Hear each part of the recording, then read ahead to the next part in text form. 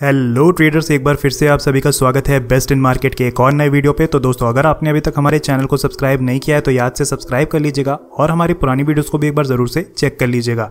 आज की इस वीडियो में हम लोग कवर करने वाले हैं एक बहुत ही शानदार सा स्टॉक जो कि आपके पास ऑलरेडी होगा। उसका नाम है डी मार्ट डी मार्ट के अंदर एक बहुत ही अमेजिंग सी न्यूज़ निकल के आ रही है तो पहले हम लोग न्यूज़ को कवर कर लेते हैं। न्यूज़ में आपको देखने को मिलेगा कि स्टॉक का, जो नेट प्रॉफिट है मतलब कुछ ही दिन पहले अभी स्टॉक का रिज़ल्ट आया है नेट प्रॉफिट आपको लगभग लगभग पिछले साल के कंपेरिजन में डबल होते हुए देखने को मिल गया है। ये आप क्लियरली यहाँ पर हेडलाइन में देख करके समझ गए ही होगे कि टू फोल्ड मतलब टू टाइम्स हो चुका है। अब अगर हम पिछले साल के प्रॉफिट की बात करें तो यहाँ पर आपको देखने को मिल रहा होगा कंपनी का जो ऑपरेशनल रिवेन्यू था, वो पिछले साल पाँच हज़ार करोड़ के आसपास में था, जो कि इस साल नौ हज़ार आठ सौ छः करोड़ हो चुका है ऑलमोस्ट टू टाइम्स ये देख करके अब आपको क्लियरली समझ में आ गया होगा कि डीमार्ट के अंदर जो गिरावट है, वो ठीक है मार्केट में गिरावट है प्रॉफिट बुकिंग है, उन सब चीज़ों के बेसिस पे है, लेकिन ये स्टॉक आपको लॉन्ग टर्म में बहुत ज़बरदस्त पैसा बना करके देगा ही देगा। तो अब हमारे लिए इंपॉर्टेंट चीज़ ये है कि क्या हमें कल के दिन इस स्टॉक को तुरंत करंट मार्केट प्राइस पे ही बाई कर लेना चाहिए। तो नहीं दोस्तों, एक चीज़ आप समझ के चलिए कि यहाँ पर अगर आपको ट्रेडिंग करनी है तो न्यूज़ के बेसिस पे जो तेज़ी और मंदी होती है, वो शॉर्ट टर्म के बेसिस पे होती है। तो इस न्यूज़ के बेसिस पे हमें इस स्टॉक में कल के दिन एक शानदार तेज़ी देखने को मिल सकती है। लेकिन चार्ट्स पर क्या सीन बन रहा है? उन सब चीज़ों को हम लोग डिटेल में डिस्कस करेंगे। तो अब वीडियो को बिना स्किप किए हुए पूरा एंड तक देखिएगा। चलिए अब डायरेक्टली हम लोग बढ़ते हैं चार्ट की तरफ़। ये चार्ट मैंने आपके साथ कुछ दिनों पहले भी शेयर किया था और आपको एग्जैक्टली जो लेवल बताए थे, वही लेवल्स बहुत स्ट्रिक्टली फॉलो हुए हैं। अब क्या फॉलो हुआ है, ये समझने की कोशिश करो। मैंने आपको कहा था कि इस स्टॉक को आपको कब बाई करना है? इस लेवल पे। मतलब ये वाला जो लेवल है, पैंतीस सौ रुपये के आसपास का लेवल है। आपको यहाँ पर बाई करने के लिए कहा था और जिन लोगों को स्विंग के पर्पज से ये स्टॉक लेना था, उन्हीं के लिए कहा था कि जब ये स्टॉक यहाँ से रिवर्सल दिखाएगा तो पैंतीस सौ रुपये आपको बाई करने के बारे में प्लान करना है। आपने यहाँ पर पैंतीस सौ रुपये पर बाई भी कर लिया। आपको मैंने ये भी बताया था कि टारगेट कितना होना चाहिए आपका स्विंग के बेसिस पे? Thirty nine eighty. Thirty nine eighty. Almost यहाँ पर आपको चार सौ से पाँच सौ पॉइंट मिलने वाले थे। बहुत क्लियरली आपको बताया था कि 3980 से लेकर के 4280 ये एक क्या है? रेजिस्टेंस जोन है। ये अभी भी वैलिड है। अभी भी ये वैलिड है, इसलिए मैं इसको आपके साथ शेयर कर रहा हूँ। बहुत ध्यान से समझने की कोशिश करना। एंट्री आपको बता दी पैंतीस पे थर्टी नाइन यहाँ से आप देख सकते हो ऑलमोस्ट आपको चार सौ अस्सी पॉइंट यहाँ पर क्लियरली देखो स्विंग के पर्पज से हमारा स्टॉप लॉस भी क्या था? स्टॉप लॉस हमारा पैंतीस पर एंट्री थी तो तैतीस यहाँ पर स्टॉप लॉस कितने पॉइंट्स का था? दो सौ पॉइंट्स का। दो सौ पॉइंट्स का स्टॉप लॉस और टारगेट था चार सौ अस्सी। यहाँ पर आप क्लियरली देख सकते हो कि हमारा रिस्क टू रिवॉर्ड कितना था? वन इज़ टू टू से भी थोड़ा ज़्यादा ही था, लेकिन यहाँ पर आपके टारगेट बहुत इजिली अचीव हुए। स्टॉक ने यहाँ पर हिट किया और रेजिस्टेंस लेकर के स्टॉक वापस से नीचे आना स्टार्ट हुआ। अब आपको क्या करना है? ये चीज़ क्लियरली समझ के चलो। अब जिन लोगों ने उस समय स्विंग प्ले कर लिया या एंट्री बना करके अभी भी रखे हुए हैं, तब आपको क्या करना है? इन सारी चीज़ों पर डिटेल में चलो डिस्कशन स्टार्ट करते हैं। अब देखो, यहाँ पर एक ब्लैक कलर की लाइन मैंने मार्क करके रखी है। इस ब्लैक कलर की लाइन के ऊपर स्टॉक दो बार यहाँ पर सपोर्ट ले चुका है। पीछे भी एक दो बार इसी जगह पर सपोर्ट लेने की कोशिश किया है। ये सब माइनर सपोर्ट हैं, इनको हम लोग इग्नोर कर देते हैं।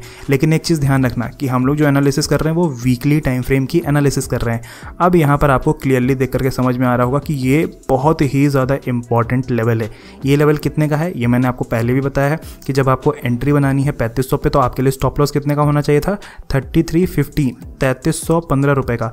अब ये लेवल फिर से आपके लिए इंपॉर्टेंट लेवल होने वाला है। क्यों इंपॉर्टेंट लेवल होगा? क्योंकि अगर स्टॉक इसके नीचे फॉल करता है, तब आपको ये स्टॉक थोड़ा सा और गिरावट और पेन दिखा सकता है। लेकिन लेकिन लेकिन यहाँ पर आपके लिए एक इंपॉर्टेंट चीज़ ये जानना है कि क्या आपको इस लेवल पर अब सेल कर देना है या स्टॉप लॉस डाल करके निकल जाना है?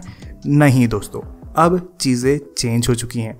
अब चीज़ें चेंज हो चुकी हैं, इसीलिए मैं आपके साथ ये वीडियो लेकर के आया हूँ। अब आपको कहाँ पर एंट्री बनानी है, कहाँ पर स्टॉप लॉस डालना है, ये सारी चीज़ें थोड़ा सा हम लोग मॉडिफाई करेंगे। क्यों मॉडिफाई करेंगे? क्योंकि चार्ट अपने आप एडजस्ट हो रहा है तो हमें भी चार्ट के अकॉर्डिंग एडजस्ट होना पड़ता है, ना कि अपने प्राइस के अकॉर्डिंग चार्ट को एडजस्ट करना होता है। तो इसलिए अब समझ के चलो पैटर्न क्या फॉर्म हो रहा है। इंपॉर्टेंट पैटर्न यही है आपको मैंने बताया, ये वाला पैटर्न ये पैटर्न जैसे ही ब्रेक होगा, आपको एक बहुत शानदार अपवर्ड रैली देखने को मिलेगी। ये कौन सा पैटर्न है, मुझे कमेंट में ज़रूर बताइएगा। अब इस पैटर्न पे ब्रेक होने पर आपको कहाँ एंट्री लेनी है? एंट्री का सेफ़ अब यहाँ पर काफ़ी लोग कहेंगे कि, सर, हम लोग रिस्की एंट्री नहीं लेना चाहते सेफ़ एंट्री लेना चाहते हैं। तो सेफ़ एंट्री लेने वालों के लिए इंपॉर्टेंट पॉइंट कौन सा है? फोर्टी टू एट्टी बयालीस सौ अस्सी रुपये के ऊपर। जैसे स्टॉक आपको निकलता हुआ दिखाई दे, आपको एंट्री बनाने के बारे में प्लान करना है। लेकिन कुछ लोगों के दिमाग में यहाँ पर ये चल रहा होगा कि अभी इस जोन में जहाँ पर हम लोग ट्रेड कर रहे हैं, ये एरिया आप देख रहे हो मतलब 3500 से 3315 के बीच में जहाँ पर हम लोग ट्रेड कर रहे हैं। क्या सर हम लोग यहाँ पर बाई कर सकते हैं कि नहीं? ये हर किसी के दिमाग में अभी सवाल उठ रहा होगा, क्योंकि रिज़ल्ट तो काफ़ी अच्छे हैं। स्टॉक में हो सकता है हमें तेज़ी भी देखने को मिल जाए, लेकिन यहाँ पर एक चीज़ संभल के चलो। एंट्री बनाने के लिए यहाँ पर मैं बिल्कुल भी मना नहीं करूँगा, आप एंट्री बना सकते हो। लेकिन क्वांटिटी कम रखिएगा। क्वांटिटी कम क्यों रखिएगा, उसके पीछे का भी लॉजिक बताता हूँ। अगर स्टॉक यहाँ से किसी भी वजह से प्रॉफिट बुकिंग या मार्केट में प्रेशर की वजह से नीचे फॉल करना स्टार्ट करता है और इस लेवल को 3315 का जो लेवल है, इसको ब्रेक करके नीचे जाना स्टार्ट करता है। तब आपको जो क्वांटिटी ऐड करनी है, वो केवल और केवल अट्ठाईस सौ रुपये के आसपास के लेवल पर ही क्वांटिटी ऐड करनी है या एवरेज करनी है। ये लेवल बहुत इंपॉर्टेंट है। अब इसको नोट करके रख लो। ये उन लोगों के लिए है जो लोग अभी के समय में करंट मार्केट प्राइस पर रिस्क लेने के लिए तैयार हैं।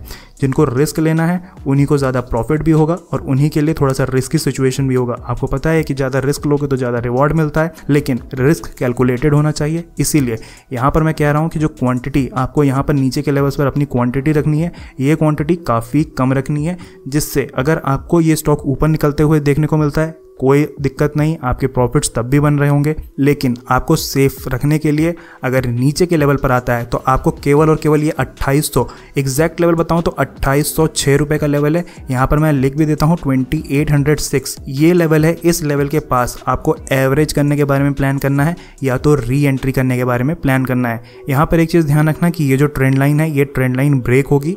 ब्रेक होगी तो स्टॉक सडन फॉल करके वापस ऊपर जाना स्टार्ट करेगा। सपोर्ट बहुत तगड़ा है। अगर आप देखोगे तो ये जो तीनों कंटिन्यूस सपोर्ट है यहाँ पर, ये अट्ठाईस सौ के पास के ही सपोर्ट है। इसलिए आपको मैं कह रहा हूँ कि अट्ठाईस सौ पर आपको ये स्टॉक स्टेबल होते हुए देखने को ज़रूर मिलेगा। और एक चीज़ ध्यान रखिएगा कि डी का स्टॉक अगर आपके पास है तो इस स्टॉक को आप जितना लॉन्ग टर्म के लिए होल्ड करोगे, ये स्टॉक एक मल्टी बैगर स्टॉक आपको रिटर्न देगा ही देगा। अभी के समय में ये स्टॉक का जो प्राइस है वो तैतीस से चौंतीस के आसपास में मान लेता हूँ। थर्टी फोर के आसपास इस स्टॉक का करंट मार्केट प्राइस चल रहा है। लेकिन इस स्टॉक के अंदर हम लोग जो टारगेट एक्सपेक्ट कर रहे हैं, वो काफ़ी लंबे टारगेट और काफ़ी दूर के टारगेट है।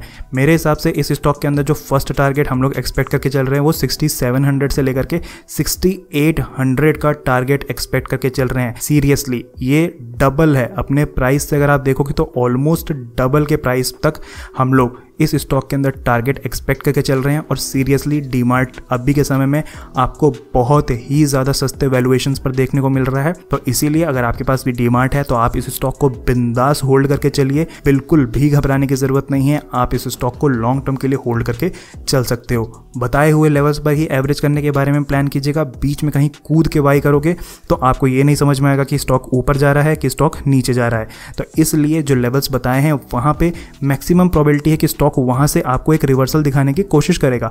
और इसी वजह से जो लेवल्स आपको बताए हैं, उनको स्ट्रिक्टली फॉलो कीजिएगा। आई होप इस वीडियो में बताई गई सारी चीज़ें आपको क्लियरली समझ में आ गई होंगी। और अगर डीमार्ट के स्टॉक आपके पास भी है तो आप मुझे नीचे कमेंट सेक्शन में ये ज़रूर बताइएगा कि किस प्राइस पर आपने डीमार्ट के स्टॉक को बाय करके रखा हुआ है। और अगर ये वीडियो आपको पसंद आई है तो वीडियो को लाइक कीजिएगा, अपने दोस्तों के साथ शेयर कीजिएगा। और अगर चैनल पर फ़र्स्ट टाइम आए हैं तो चैनल को सब्सक्राइब करना मत भूलिएगा। फिर मिलूँगा एक और ऐसी वीडियो लेकर के, तब तक के लिए धन्यवाद।